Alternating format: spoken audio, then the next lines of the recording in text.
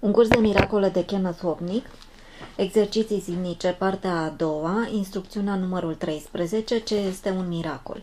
Un miracol este o corecție. El nu creează, nici nu schimbă absolut deloc, ci doar privește devastarea și amintește minții că tot ce vede este fals. El desface greșeala, dar nu încearcă să treacă dincolo de percepție, nici să depășească funcția iertării. Rămâne așadar în limitele timpului, dar netezește calea pentru revenirea a temporalității și deșteptarea iubirii, căci frica trebuie să dispară în fața blândului remediu pe care îl aduce. Un miracol conține darul harului, căci este dat și primit totodată. El ilustrează astfel legea adevărului, la care lumea nu se supune. Pentru că nu reușește să îl înțeleagă absolut deloc. Un miracol inversează percepția, care era înainte răsturnată și pune astfel capăt distorsiunilor ciudate care erau manifeste. Acum percepția este deschisă la adevăr, acum iertarea este percepută ca fiind justificată. Iertarea este locașul miracolelor. Ochii lui Hristos le aduc tuturor celor care privesc cu îndurare și iubire. Percepția este corectată în ochii lui. Și ce a fost menit să blesteme a ajuns să binecuvânteze.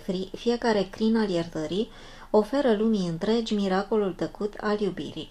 Și fiecare este depus în fața cuvântului lui Dumnezeu, pe artarul universal închinat Creatorului și creației, în lumina purității desăvârșite și a bucuriei nesfârșite.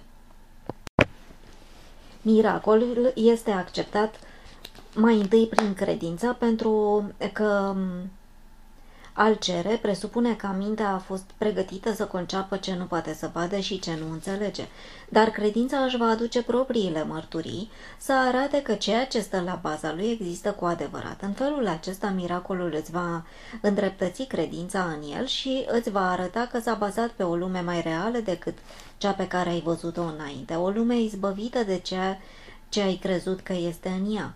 Miracolele cad din cer ca picăturile de ploaie tămăduitoare asupra unei lumi aride și prăfuite. Unele făpturi înfometate și însetate vin să moară. Acum au apă. Acum lumea se vede. Și acum lumea este verde.